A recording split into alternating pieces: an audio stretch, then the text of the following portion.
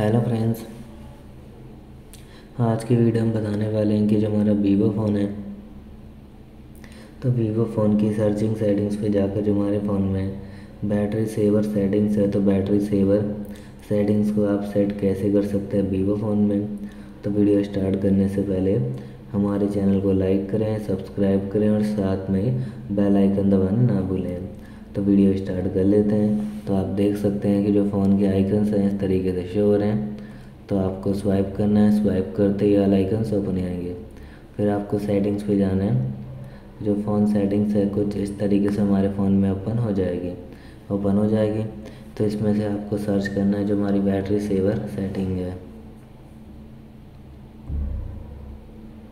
तो हमने सर्च करा बैटरी सेवर तो जो फ़ोन की बैटरी सेवर सेटिंग्स है, इस तरीके से ओपन हो जाएगी। तो ओपन होते ही यहाँ से भी आप बैटरी सेवर सेटिंग्स को सेट कर सकते हैं। सिंपल यहाँ से बैटरी सेवर को इस तरीके से ऑन कर सकते हैं तो जो बैटरी सेवर है हमारा ऑन हो जाएगा। इसको ऑफ़ करना चाहेंगे तो आप भी कर सकते हैं बैटरी सेवर को। और साथ में आप बैटरी सेवर शेड्यूल सेट करना चाहते हैं तो आप बैटरी के हिसाब से यहाँ से बैटरी सेवर शेड्यूल को सेट कर सकते हैं। और साथ में जैसे turn off pen charged option को भी ऑन ऑफ़ करना चाहते हैं, यहाँ से कर सकते हैं ऑटोमेटिकली तो इस तरीके से बैटरी सेवर सेटिंग्स को सेट कर सकते हैं सर्चिंग सेटिंग पे जाकर। और आपको ऑप्शन नहीं मिलता है तो आप फ़ोन की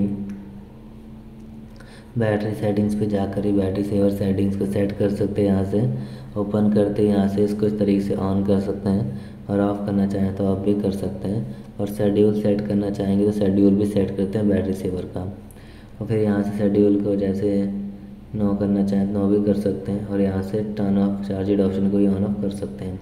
तो वीडियो अच्छी लगी तो लाइक सब्सक्राइब करें और साथ में ही बेल आइकन दबाना ना भूलें। तो वीडियो स्टार्ट अच्छी लगी तो थैंक यू